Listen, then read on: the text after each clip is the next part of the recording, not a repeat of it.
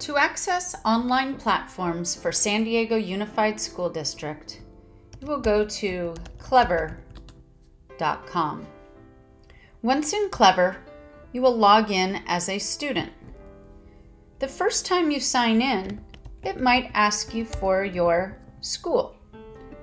Select your school, and you might want to bookmark this page so you can come back to it easily.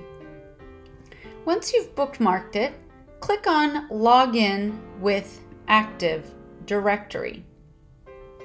On this page, you will enter your username and password, then sign in.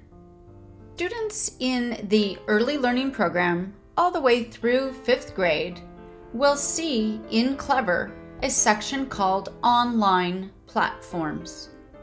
In some cases, you might see teacher pages or favorites above, but look for online platforms.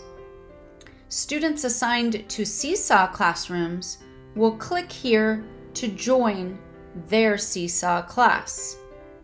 Those classrooms using Google Classroom, you will click on Google Classroom.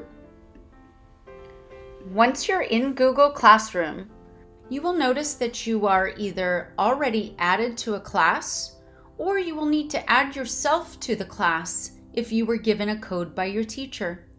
To add yourself to the class, click the plus sign and join class. You can enter the class code here. For those students in grades 6 through 12, you can sign into Clever the same way.